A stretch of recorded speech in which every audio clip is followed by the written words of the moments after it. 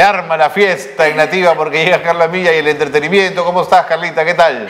Carlos, ¿qué tal? Muy buenos días. Muy buenos días a todos los que están conectados desde las distintas plataformas de Nativa. Empezamos con el bloque de entretenimiento, el bloque cultural.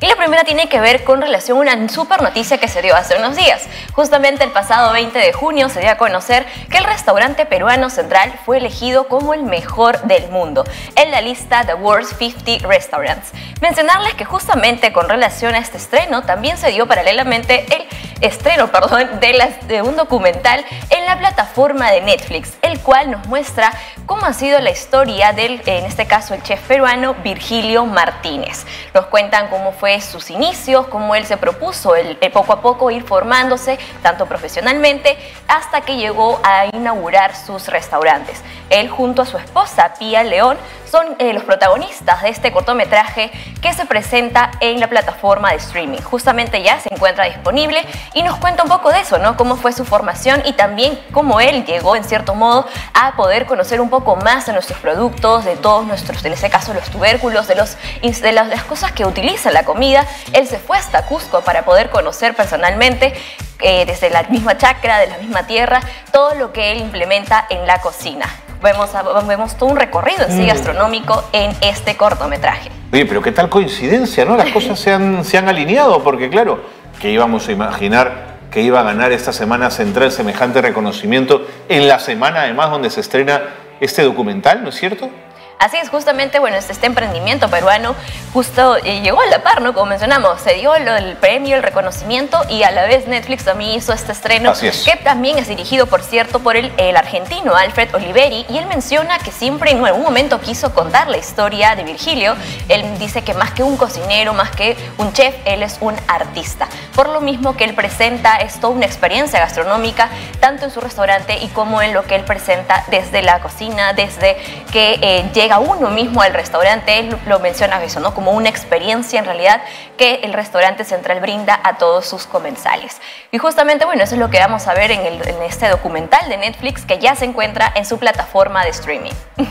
Muy bien, está, está, habrá que verlo. No, tú sabes que no me interesaba mucho, la verdad decía de pronto la historia. No, pero ahora que ha ganado el premio me interesa el doble ver el documental. Poder conocer un poquito más acerca de su historia. Eso es. bueno, ¿qué más tenemos?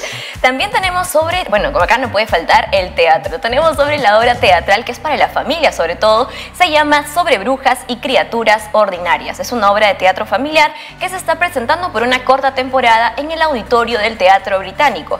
Este es, más que nada eh, una obra que busca más eh, dedicada tanto a los niños como a los adultos. Lo van a poder disfrutar disfrutar en, las distintas edades. Mencionarles que nos cuenta la historia de dos niños, quienes tras leer el libro eh, Las brujas de Roald Dahl eh, llegan a conocer y a darse cuenta de que las brujas realmente existen. Por lo que ellos, de bueno, a medida de que van eh, dándose cuenta de que estas están en este mundo, en esta realidad, combinando un poco con la ficción, pues van a, a vencer muchos sus temores, juntos van a luchar contra eso, contra esa maldad que por cierto van a descubrir que pues a veces está en muchos lugares y sobre todo todo van a fortalecerse y combatir contra ese miedo que tienen, así en este caso, las brujas. Justo ahí, ahí los director, el director sobre todo menciona de que va a haber mucha relación y referencias con películas, eh, series, videojuegos de los años 90, ya que va a estar ambientada también en una Lima de esos tiempos. Así es que es una obra dedicada a toda la familia, a los niños sobre todo, que nos van a, les va a permitir poder gustar más que nada, no viajar en este mundo de las brujas y de la magia en especial. Me encanta la idea. En el británico, ¿verdad, Carla? Así es. En el teatro auditorio, el auditorio del, Teatro Británico está la obra hasta el domingo 16 de julio. Muy bien. Las entradas están en Joinas también. Buenísimo. ¿Qué más? Sí. Y bueno, vamos a bueno, vamos a, pasar a esta noticia que bueno, tiene que ver más que nada con una de las industrias más importantes del mundo.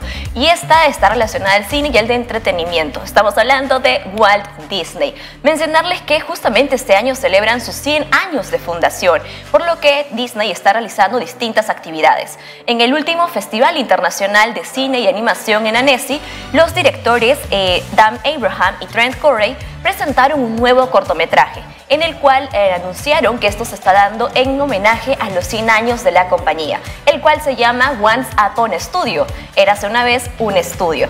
Desde ya es un proyecto ambicioso debido a que en este cortometraje están presentando más de 40 voces de actores y actrices de doblaje que han trabajado a lo largo de todos estos años y se están reuniendo para celebrar el centenario de Disney, en el cual van a poder mezclar tanto animaciones desde los 80, de los 90, 60 con los de los 2000 en adelante. Así que esta se estrena el 22 de noviembre, justamente en el, estreno de la película de Disney que se mm. llama Wish, El Poder de los Deseos, el cual se va a proyectar justamente minutos antes de la película. De acuerdo. Qué interesante, Carla, porque además las voces de las personas cambian también con el tiempo, eso es natural, y tener que hacer eh, dibujos que pueden tener muchos años de antigüedad o personajes que tienen muchos años de antigüedad debe ser difícil. Carla, muchísimas gracias por la información del entretenimiento. Nos tenemos gracias, Carla. Buen Un abrazo.